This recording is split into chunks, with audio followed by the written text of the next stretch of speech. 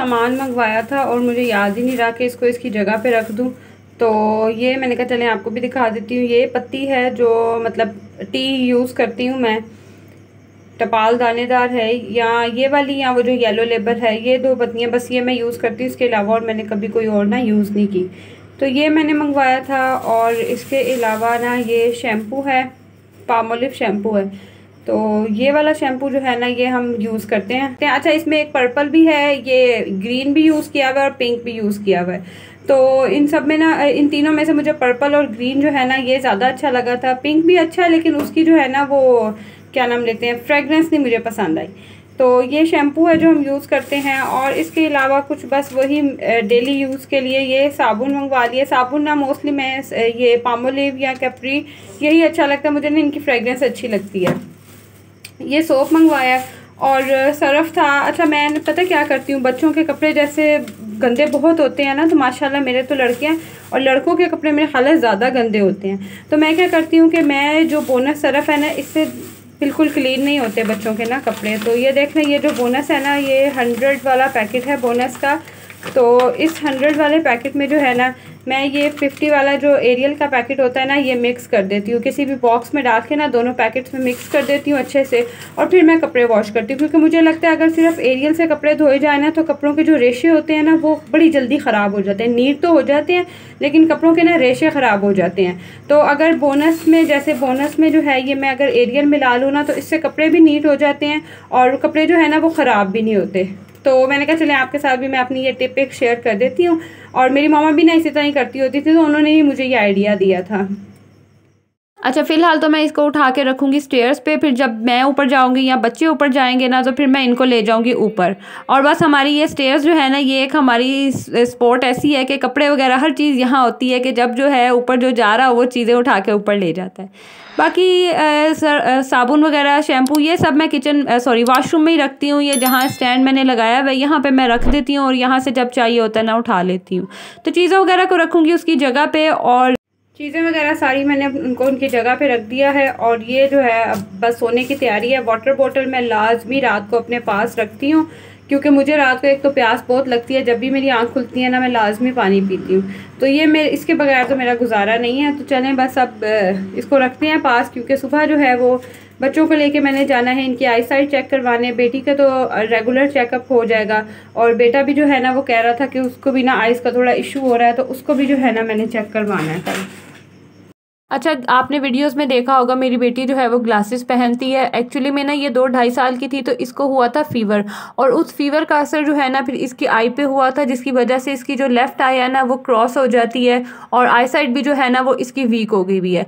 तो काफ़ी मैंने डॉक्टर्स को दिखाया, सब एक ही बात करते हैं कि आई पैचिंग करनी है और दूसरा के ग्लासेस हर वक्त पहन के रखनी है। तो आपको पता है कि छोटे बच्चे जो हैं, वो ग्लासेस कितनी तोड़ते हैं और कभी मूड हो तो पहनते हैं, कभी जो है वो फिर नहीं पहनेंगे ना। की ग्लासेस पे भी स्क्रैचेस आए हुए थे, दोबारा बनानी थी। मैंने कहा, इससे पहले दोबारा बनाया, मैंने इसकी आई सेट दोबारा से चेक करवा लेती हूँ ताकि आइडिया हो जाए कि कोई इम्प्रूवमेंट है।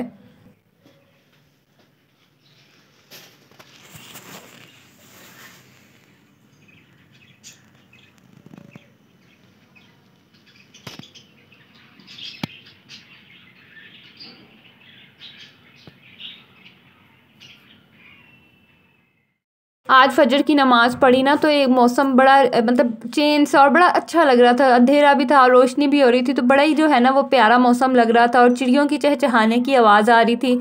तो मैंने फटाफट से कैमरा ऑन किया और कैप्चर कर लिया। और व्लॉगिंग का ये फ़ायदा होता है कि आप फ़ौरन कैमरा ऑन करते हैं, कोई भी ऐसा मोमेंट हो ना, आप उसको कैप्चर कर लेते हैं। तो खैर, उसके बाद फिर सुबह सुबह जाना था हॉस्पिटल तो मैं नमाज़ पढ़ के थोड़ी देर के लिए लेट गई। उसके बाद फिर उठ के तैयारी करवाई बच्चों को और फटाफट से जो है ना बस निकले। अच्छा सुबह सुबह कहीं जाना होना स्कूल के अलावा तो मुझे इतना मुश्किल काम लगता है ना, मैं मॉर्निंग पर्सन ना, बिल्कुल नहीं हूँ। तो सुबह कहीं जाना होना तो मुझे ऐसा लगता है कि पता नहीं मैंने क्या जो है ना, वो एक इंपॉर्टेंट काम करना है। तो खैर, यहाँ पे मैं आई थी बच्चों को लेके फातिमा मेमोरियल। स्टार्ट में जब फ़र्स्ट टाइम मैंने चेक करवाई थी ना अपनी बेटी की आई साइड तो मैंने यहीं से ही करवाई थी और उन्होंने ही डायग्नोस किया था कि इसका ना क्या इशू है। उसके बाद मैंने दो तीन जगह से करवाई। एक मैंने बड़े स्पेशलिस्ट आई स्पेशलिस्ट हैं, उनको भी दिखाया, मैंने म्यू हॉस्पिटल में भी दिखाया। तो बात बस यही है कि ग्लासेस लगा के रखें और आई पैचिंग करें और आई पैचिंग में जो है ना, मैं जब इसे करती हूँ, या तो सो जाती है या इतना रोती है ना, कि बड़ा ही जो है ना, वो मुश्किल हो जाता है। खैर दुआ, आप सब दुआ कीजिएगा कि मेरी बेटी की जो है ना वो आई जल्दी से ठीक हो जाए। तो एक आँख पे थोड़ी इम्प्रूवमेंट हुई थी, लेकिन एक जो है ना, वो अभी तक स्टिल उसका वही नंबर था। और बेटे का भी इशू था, कह रहा था कि मुझे ना नज़र नहीं सही आ रहा, लेकिन शुक्र है अल्लाह के, कि आई साइड उसका उसका कोई इशू नहीं है। उसकी ना जस्ट थोड़ी सी इन्फेक्शन हुई हुई थी आई उसकी ना पलकों पे थोड़ी सी इन्फेक्शन हुई हुई थी तो उसके लिए उन्होंने मेडिसन दे दी। और यहीं पे जो है ना, मुझे अच्छा खासा टाइम लग गया था, क्योंकि मेरी, मुझे भी ग्लासेस लगी हुई हैं तो मैंने भी अपनी ना आई साइड चेक करवानी थी। तो आधा दिन तो कह लें यहीं गुजर गया, दो तीन घंटे कहाँ गए, पता ही नहीं चला, इतनी तफसील से ज़ाहिर है, जब चेकअप होता है, हर चीज़ होती है तो फिर टाइमिंग का ना आपको अंदाज़ा ही नहीं रहता। उसके बाद फिर मैं आई घर और घर आके मैंने चीज़ें वगैरह समेटी, सारा कुछ जो है वो किया और हेल्पर का भी आने का टाइम था तो उससे सफ़ाई करवाई। बस आपको पता है कि हम मदर्स को ऐसे ही होते हैं, किसी काम के लिए बाहर तो चले जाते हैं हम, लेकिन जब हम घर आते हैं तो ढेरों काम जो है ना वो हमारे इंतज़ार में बैठे होते हैं।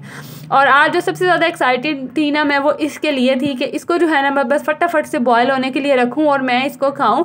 और इतने अच्छे ये मिल गए थे ना मुझे कि इतने मतलब बड़े बड़े से इसके दाने थे और जब ये पका था तो बड़ा ही मज़े का जो है ना इसका टेस्ट था। और अनएक्सपेक्टेडली मेरे बेटे ने बड़े शौक से खाया। मुझे था कि पता नहीं खाएँगे कि नहीं खाएँगे, लेकिन मेरे छोटे बेटे को इतना मज़ा आया ना और मैंने ना थोड़े से ज़्यादा ही कुक किए थे ताकि अगर बच्चे भी खाएँ ना तो उनको भी ना मतलब सॉफ्ट सॉफ्ट से हों तो खाने का ना मज़ा आए। तो खैर टाइम तो इनको अच्छा खासा लग जाता है, मुझे आइडिया नहीं था। और दूसरा मेरी पतीली को आपने अवॉइड करना है ये ना पानी बॉयल करने के लिए ही रखी हुई है। तो इसीलिए ना इसकी हालत ऐसी है। मैंने कहा, दूसरी पतीली में मैंने रखा ना तो आपको पता है कि जिस पतीलियों में पानी बॉयल हो ना, उसमें अजीब सा एक स्टेन हो जाता है।